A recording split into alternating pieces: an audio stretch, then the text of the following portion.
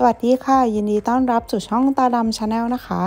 วันนี้มีวิธีการทำหมูผัดกิมจิมาฝากกันค่ะ สูตรนี้รับรองอร่อย แล้วก็ทุกคนต้องติดใจแน่นอนค่ะ วิธีทำง่ายๆ แล้วก็วัตถุดิบเนี่ยมีไม่มีไม่มากนะคะ มาดูวิธีทำกันเลย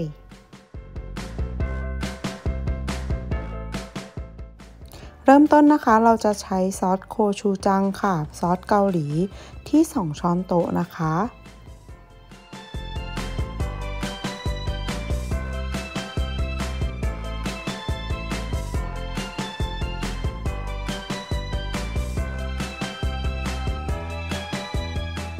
จากนั้นก็จะใส่โชยุนะคะที่ 1 ช้อนโต๊ะ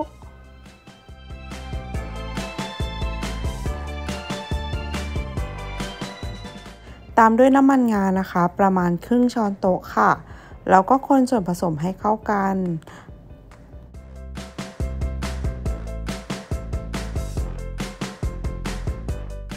ซอสหอยนางรมนะคะที่ 1 ช้อนโต๊ะค่ะ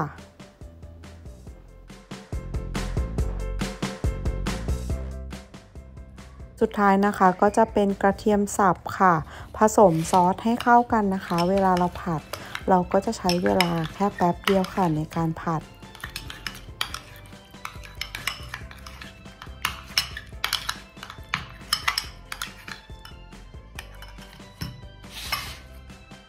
ก็จะเป็นส่วนผสมนะคะ ก็จะมีหมูสไลด์ หรือจะทำเป็นหมูสามชั้นสไลด์ก็ได้ค่ะ กระเทียมมีหอมนะคะ เริ่มต้นก็ใส่น้ำมันลงไป 2 ช้อนโต๊ะ ตามด้วยกระเทียมนะคะ ผัดจนหอม แล้วก็ใส่ตัวหมูสไลด์ของเราไปค่ะ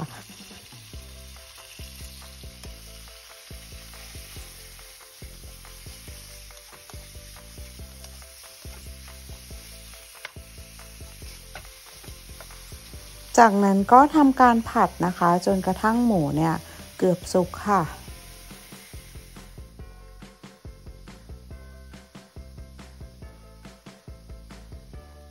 น้ำตาลทรายนะคะ ประมาณ 1 ช้อนชาค่ะ แล้วก็ผัดให้เข้ากันค่ะ จากนั้นนะคะก็ใส่ตัวหอมใหญ่ค่ะที่เราซอยไว้แล้วก็ผัดให้เข้ากันนะคะ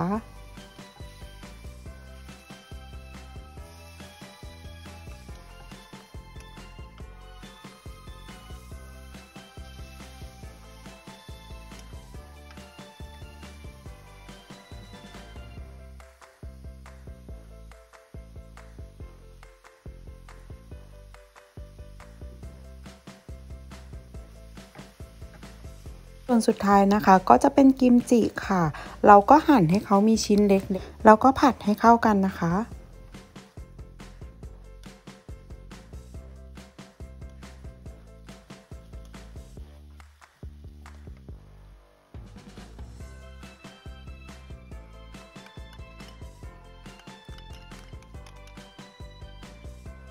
จากนั้นก็เติมในส่วนของซอสนะคะ ที่เราเตรียมไว้ลงไปผัดให้เข้ากันค่ะ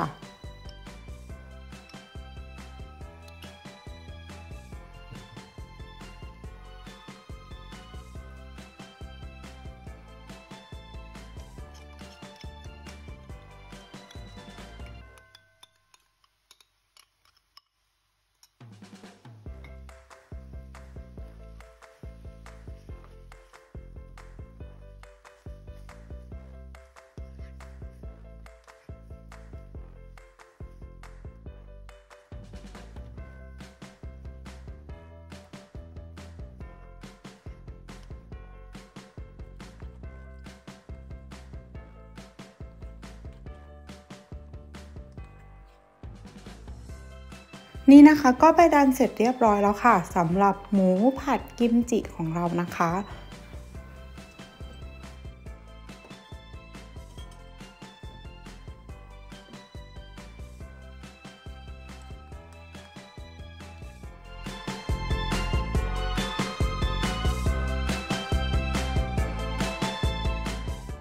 นี่นะคะพร้อมเสิร์ฟทานคู่กับข้าวสวยร้อนๆนะคะ เข้ากันสุดๆไปเลยค่ะ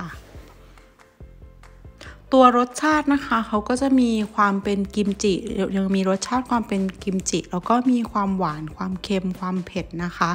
ของตัวซอส